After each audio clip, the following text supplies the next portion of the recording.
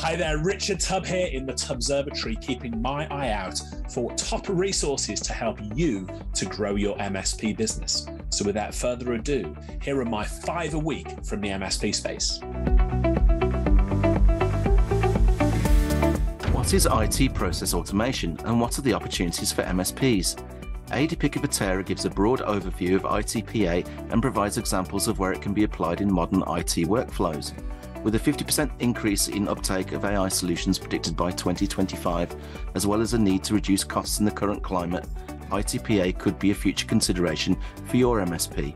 Marketing strategies can be a big source of frustration for many SMBs. So, this article from Smart MSP's Kendra Olney Lee highlights why some marketing leads fail to convert into sales and what you can do to increase your conversion rate. This is well worth a read if you have found conversions difficult in the last few months. A YouTube series that caught my eye recently is Tough Talk on cybersecurity. In each episode, CompTIA's Wayne Selk talks to an expert on a different aspect of cybersecurity for their insights and tips. In this episode, he talks to Anne Westerheim about user awareness training. Others in the series include data backups and acceptable use password policies for MSPs.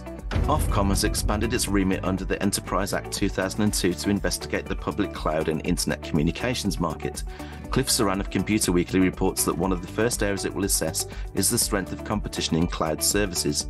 This will largely impact on the big three AWS, Azure, and Google Cloud, and has far reaching implications for this growing sector. And finally, as the human genome is made up of tens of thousands of genes, all with their own unique codes, it's important that geneticists label them correctly in their research papers.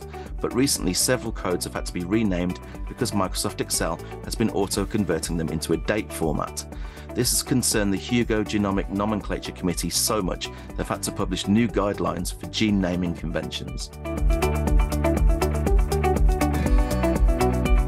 Was delighted to hear that Mark Copeman, author of Help Desk Habits and MSP Secrets Revealed, has recently joined forces with MSP marketing expert Dave Sutton as part of the Wingman MSP marketing team. Mark has been collaborating with Dave on projects for the last 12 months and brings with him a ton of experience reviewing MSP websites as well as his own industry marketing and public speaking experience. I, for one, am very excited to see what comes next from this partnership. Cloud compute provider Linode have started a new YouTube channel for all their partner related content. The Linode Partner Partners channel is chock full of great videos, including interviews, guides, event takeaways, and their monthly partner roundups. You should definitely subscribe and hit the notification bell. And, shameless plug, you can also catch my interview with James Steele here in the featured interviews section. It is without doubt one of the scariest things a business can go through, so any advice on the subject is welcome from those with experience and insight. This white paper from Pax8's Dominic Kirby, MSP Advice for Executing Mergers and Acquisitions, takes us through the initial analysis and planning through to execution and is a must read for any MSP considering or about to undergo M&A. Now we've all heard of the concept of gamification, right? Well, Chris Brogan's take on this is that we do it all the time subconsciously, so why not take a more structured approach and give yourself a reward when you complete a difficult or monotonous task? The bigger the task, the bigger the reward. It's a great little productivity hack. Need to make follow-up calls on a bunch of sales prospects? Going to make at least three visits to the gym this week? Completed your tax return for the quarter? Well, give yourself a treat, you've earned it. And finally, the CompTIA Benelux community meeting takes place on the 22nd of November in Breda in the Netherlands. As always, the one day event is a chance to ask questions and network with peers, as well as listen to some great speakers and be part of engaging discussions. Themes included for the meeting include women in tech, cybersecurity trends, and a keynote from Hans Deyemeyer, supplier of optimism and inspiration.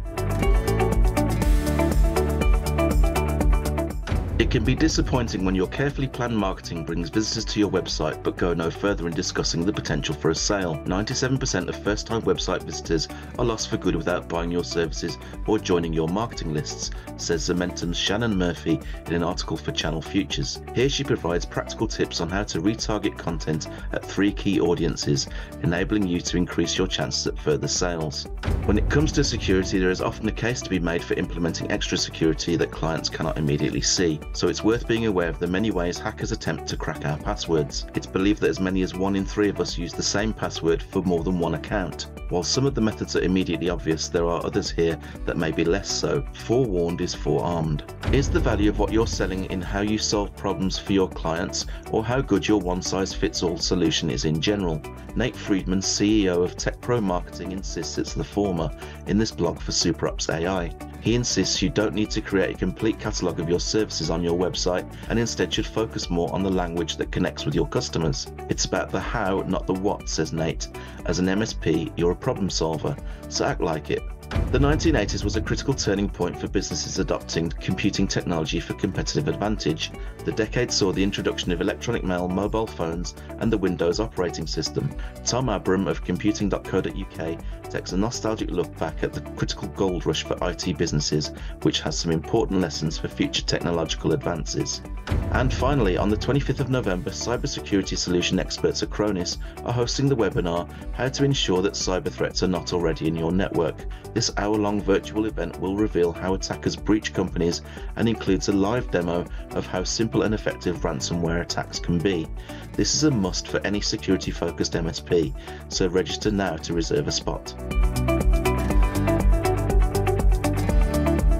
A video that caught my eye is MSP Growth Nine Things I Wish I Did Earlier by MSP expert Pete Matheson. Now, Pete shares the things he wishes he'd done sooner in his own MSP journey, and it makes for valuable viewing. How does your MSP website shape up against other IT businesses? The Uptime Solutions team have pulled together a really useful list of great MSP websites for you to look at. For instance, Ed Green at TrueByte Tech has put together a simple but compelling site for visitors.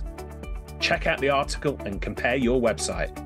Privacy is top of mind for many SMEs, and so MSP privacy management software Keepabl, which pitches itself as taking the ARG out of GDPR, have recently integrated the UK ICO's accountability framework into the Keepabl solution.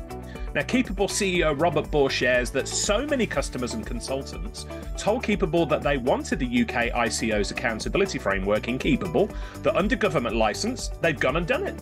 News from the war on cybercrime as Dev Kundaliya of Computing reports a decline in the number of ransomware victims paying hackers. With many cybersecurity insurance companies paying out ransomware extortion money, would you recommend to your MSP clients to pay hackers or not?